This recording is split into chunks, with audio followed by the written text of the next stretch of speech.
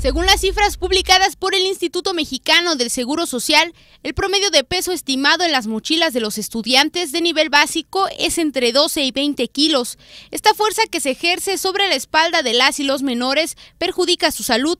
Así lo señaló en entrevista vía telefónica la médico cirujano Almadelia Pacheco Jarquín. Porque les modifica la postura porque va provocando cierto aplastamiento vertebral al mantener una postura forzada por mucho tiempo. Esto a la larga va a generar dolores, sobre todo en la zona lumbar, en la espalda baja. Y aunado al sobrepeso que estamos observando también en la población estudiantil, les va a generar en un futuro muchos problemas en articulaciones de rodilla y de cadera.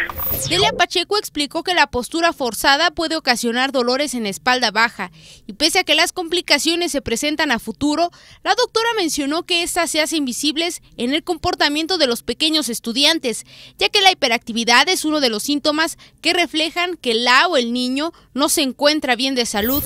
¿Por qué? Porque al sentarse en los mesabancos los niños también tienen vicios posturales que no vamos corrigiendo. Aunado al sobrepeso, empiezan ellos a quejarse de dolor.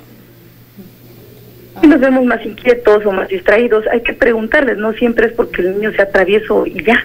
Finalmente, Armadelia exhortó a profesores y padres de familia priorizar la salud de los infantes, debido a que las secuelas a futuro son irreparables.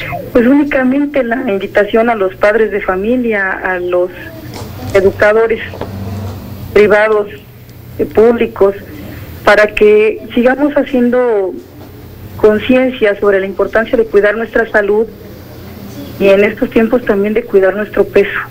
Eso es muy importante para la salud futura.